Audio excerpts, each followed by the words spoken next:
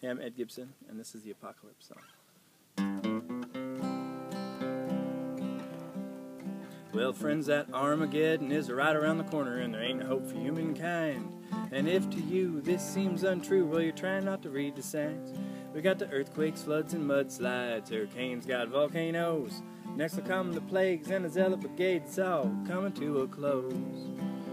But I ain't gonna take this lying down when the cover of the world's been blown. I'm gonna hunker right down in a hole in the ground and watch the apocalypse alone. The religions of the world are pushing, shoving. Whose God is it gonna be? They'll pull the plug and let it all glug down the drain hole of eternity.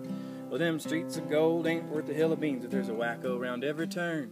And if heaven's as full as they are bull, well, you know I'd rather burn.